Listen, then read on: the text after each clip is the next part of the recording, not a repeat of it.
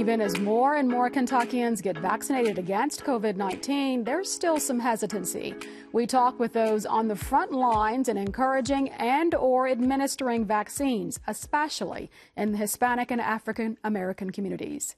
People are getting a lot of their information from social media.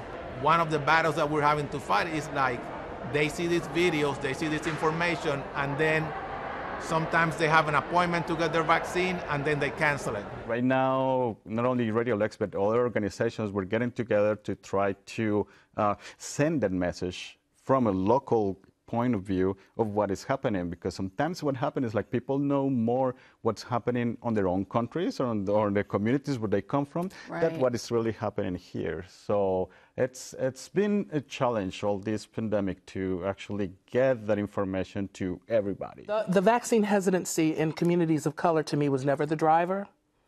To me, it was the systemic things, the racism of the healthcare system. Mm-hmm.